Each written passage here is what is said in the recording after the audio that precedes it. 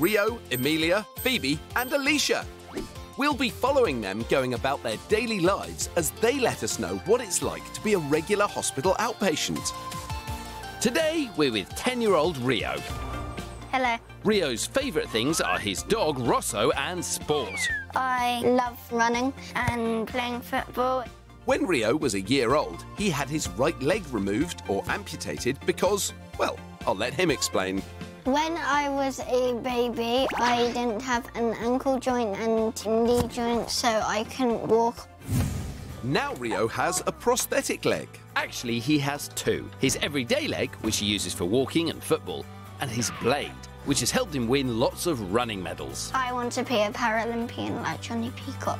Wow, that's Rio with his hero Jonnie, who's won two Paralympic gold medals for the 100 metres. Rio's blade is really only for the racetrack, but he's wearing it today because his day leg is out of action. Because when I was playing cricket with my friends, I slipped and then my leg broke. Luckily, he's due a new day leg anyway, which is being made by his prosthetist, Matt. As you're swinging the leg around now, does it feel like it's sliding off at all? No. Because Rio's still growing, Matt makes the top bits or sockets bigger every 9 to 12 months, and Rio gets to choose a new design. Um, I want that one. That one's quite cool. Mhm.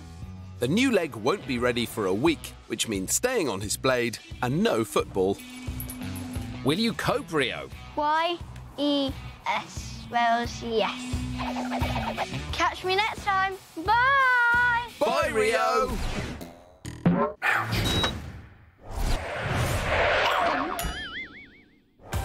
Rio, Emilia, Phoebe, and Alicia.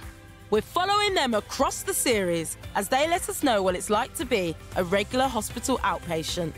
Today, we're catching up with 10 year old Rio. Hello. Rio wears a prosthetic leg because he was born with a rare condition called tibial aplasia, which means his lower leg didn't grow properly.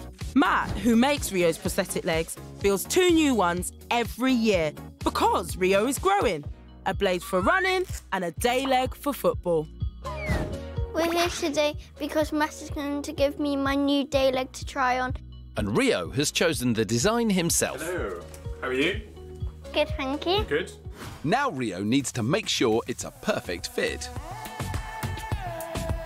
It felt like I was walking like that because one leg was taller and one smaller, so I was like that. So it's off to the workshop for a quick reshape. How's it feeling now, Rio? It's great. I think we're good to go. It feels good that I know my leg's not going to fall off. Let's go and do some physio. Really try and get those hips pointing forwards. Yeah, that's it. Rio's physiotherapist Amy will help him get used to his day leg. Very good. We are trying to strengthen my muscles. Hardest, I would probably say, is the wobble cushion. The most fun was probably football.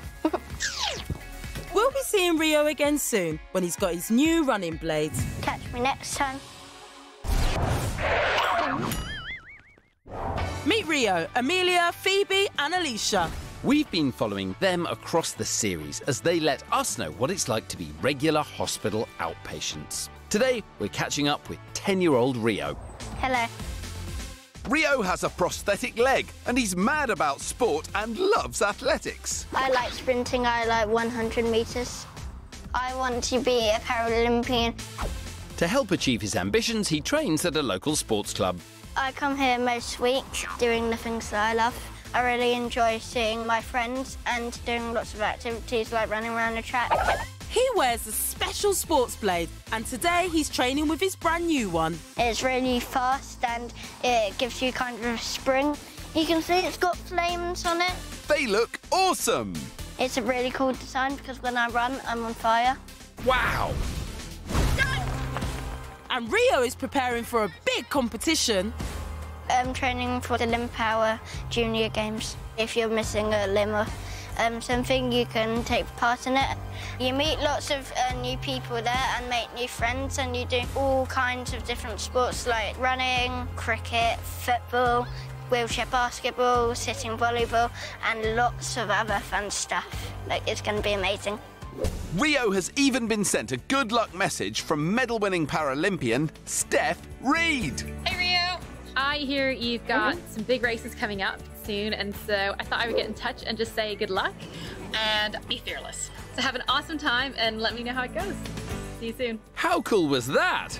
Amazing. We'll find out how you get on at the games next time. Catch you later, alligators. In a while, crocodile.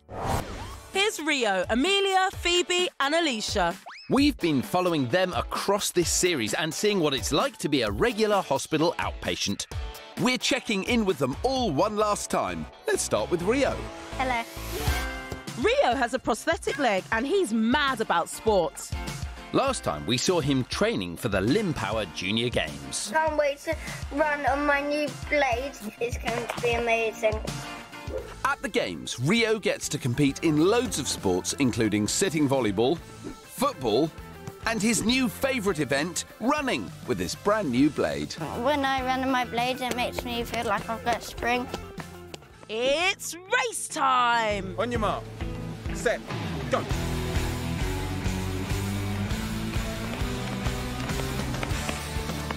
Good job, Rio. The race was very good. I've had loads of fun meeting new people and doing lots of activities. Thanks for watching my story. Bye. Thanks, Rio.